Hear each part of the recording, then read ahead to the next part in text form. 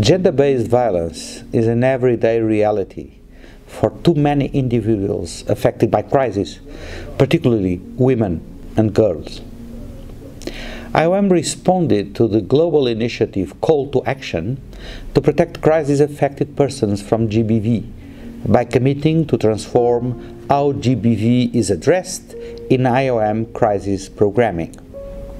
In less than four years, we were able to build up an understanding of the challenges, lessons, and emerging good practices from GBV risk mitigation, prevention, and response activities implemented at the field level.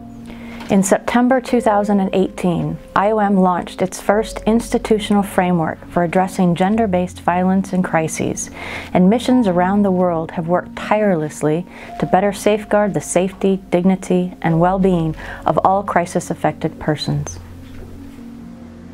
Our conversation has shifted.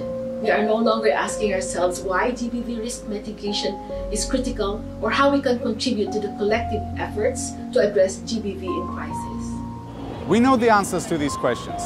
The question we're asking ourselves today focus on how to scale up best practices so that GBV programming goes beyond immediate humanitarian response.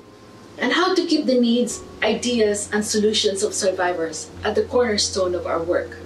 We continue to look for innovative ways to leverage our significant operational footprint and promote peaceful, respectful, and equal communities. While the learning will never stop, we now have a foundation for, that puts the survivor at the center and helps us to take action to protect people vulnerable to gender-based violence in all of our roles, whether we are a camp manager, a health provider, or a GBV specialist.